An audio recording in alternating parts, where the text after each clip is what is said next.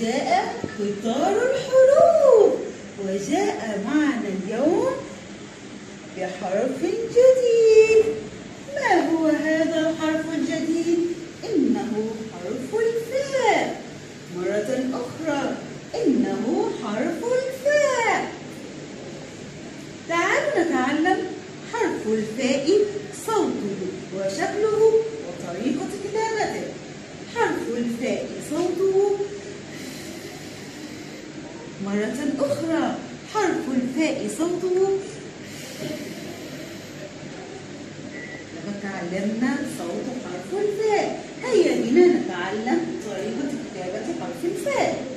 حرف الفاء يا صغار دائرة صغيرة أعلى السطر بقليل ثم خط صغير على السطر ثم خط نائم على السطر.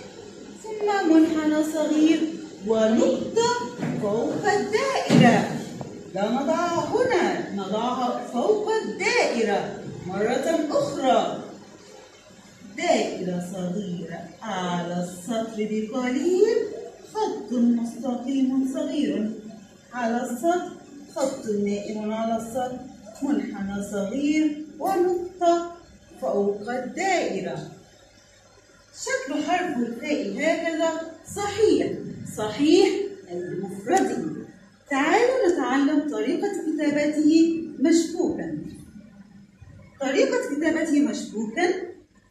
دائرة صغيرة على السطر بقليل ثم خط صغير على السطر ثم خط مستقيم على السطر ونقطة فوق الدائرة.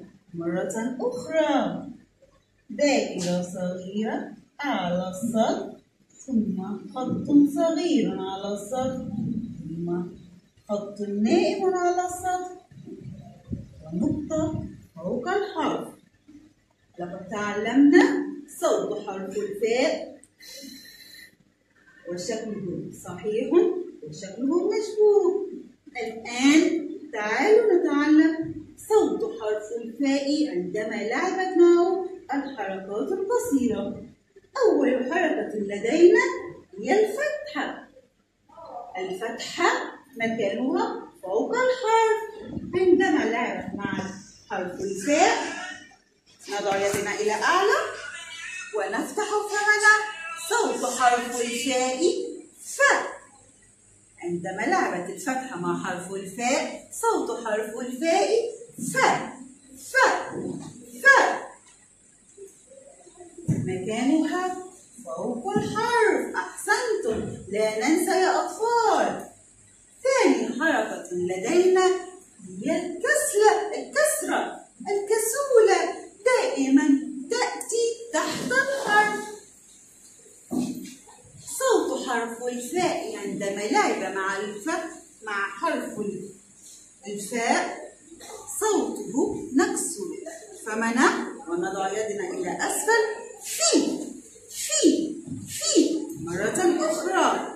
في في في. الآن جئنا لآخر حرف. وهي الضمة. وهي الضمة. أين توجد؟ توجد فوق الحرف وصوت الحرف عندما لعبت معي. مع فمنا وصوته فو فو. مرة أخرى حرف الفاء عندما لعبت مع مع الضمة فو فو فو. بعدما تعرفنا صوت حرف الفاء وشكله صحيح وشكله مشبوكا وصوته مع الحركات القصيرة تعالوا نتعلم الكلمات التي تبدأ بحرف الفاء.